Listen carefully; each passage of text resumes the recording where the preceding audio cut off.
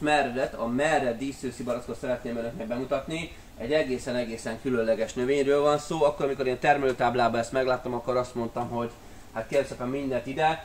E, imádom ezeket az ilyen kis, kis, kis, kis piaci szegmenseket. Most bocsánat, azt mondom, piaci szegmens, akkor inkább úgy mondom, hogy, hogy, hogy, hogy, a, hogy a növényválasztásban azokat a picike réseket, ahova így csak kevesen mernek így benézni. Hát ilyenek a díszőszi barackok. Ugye mert ültetünk ilyen őszi barackot meg, akkor, akkor most már ez már ne, ne legyen gyümölcsfa, csak legyen díszfa, de díszfát nem akarok, mert teremjen is, akkor legyen gyümölcsfa, és kérem szépen, akkor itt van a merred. Tehát ez így, ez így lezárja az egész vitát, vagy így zárójelbe teszi, mi történik. Van egy olyan növényünk, ami akár konténerben vagy dézsába, kaspóba tartható a teraszon is, tartható előkerbe is. Egészen-egészen fantasztikus a virágzása. Most gyakorlatilag ilyen április eleje van, de egy fóliaházban vagyunk, úgyhogy ez valóságban odakint fólián kívül az ön kertjéből, a teraszán, hát szerintem valamikor én április vége, május eleje közepén virágozhat, ez nagyon sok mindentől függ.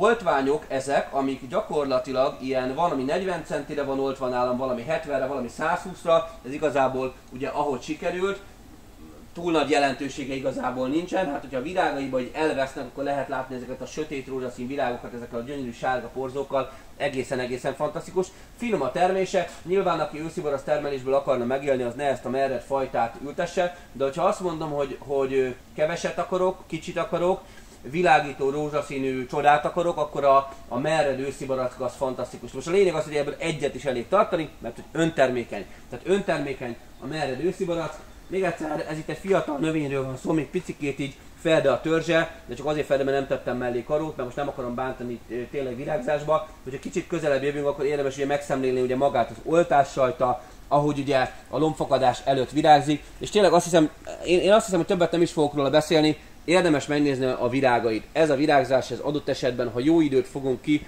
akkor akár most mondom, hogy hetekig, most ugye nem tudom, két hét is már, már több, mint egy, tehát már az is hetek, de olyat is láttam már, hogy akár mondjuk három héten keresztül mondjuk rajta vannak a, a virágai. Szóval kérem szépen a merred díszőszi barack az egy egészen-egészen fantasztikus ö, hatású növény, amit gyakorlatilag edénybe, kaspóba is lehet tartani. Nyilván arra kell figyelni, hogy maga a növénynek a felső része az a mínusz 20 fokot is kibírja, a gyökérzete is, csak ne fagyjon át. Tehát télen arra kell figyelni, hogy a konténer, amiben beleteszik, vagy kaspó, az ne fagyjon át, illetve nyáron az ne forrósodjon át. Tehát maga a felső része a növénynek, maga a növény, az bírja a nyarat meg a telet Magyarországon, de azt nem bírja, hogyha a kaspó gyakorlatilag mondjuk átfagy, vagy mondjuk átforrósodik, átszárad.